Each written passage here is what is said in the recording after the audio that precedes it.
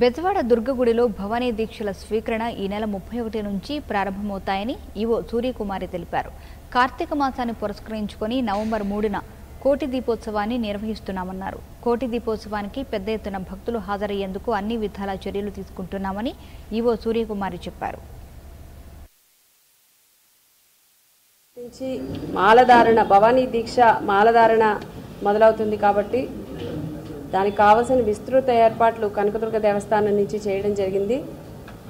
ప్రతి సంవత్సరం లాగానే ఈ సంవత్సరం కూడా అర్ధమండల దీక్షలు ఈ మిగతా క్యూ లైన్లు కానివ్వండి అన్ని ఏర్పాట్లు ఉంటాయి విరమణకి మళ్ళీ ఇంకొకసారి పిలిచి మళ్ళీ అన్నీ చెప్తాం. కానీ ఒక చిన్న విన్నపం మీ ద్వారా చేరాల్సింది ముఖ్యమైనది ఏంటంటే లాస్ట్ ఇయర్ లాగా కాకుండా ఈసారి జిల్లాల వారీగా రోజులు కేటాయిస్తున్నాము.